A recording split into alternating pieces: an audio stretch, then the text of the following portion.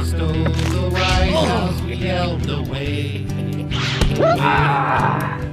They said there was no time to count the votes. We said, please, oh please.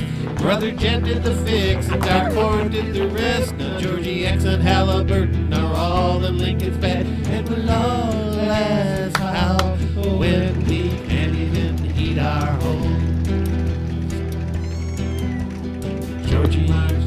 He said, bring 'em on, bring 'em on.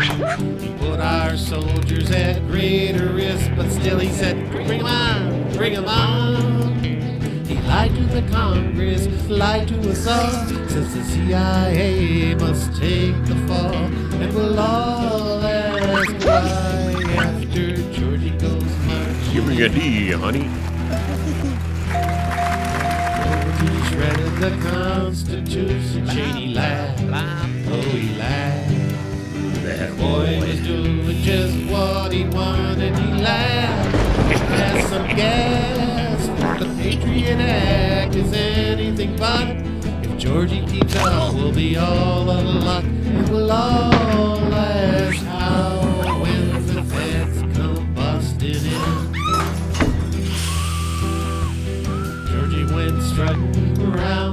around the world, they yell, go home. Howdy, partner. I'm here.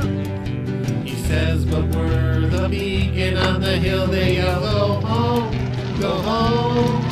He tells us the torture is for you and me. Says it's all for democracy. And the world asks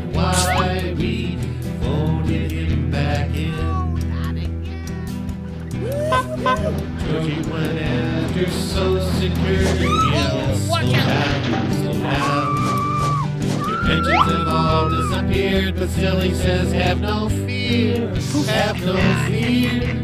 He says it must all be destroyed and be fixed. We haven't seen anything like this since Tricky Dick. And we'll all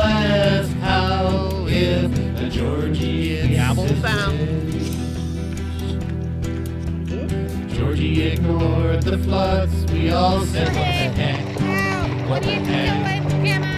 He looked out the window and waved and said, What a mess!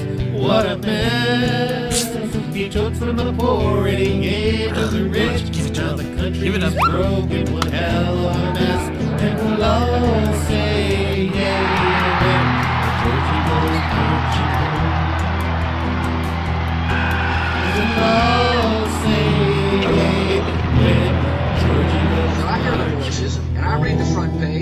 I know the speculation, but I'm the decider, and I decide what is best, and what's best is for Don Rumsfeld to remain as the Secretary of Defense.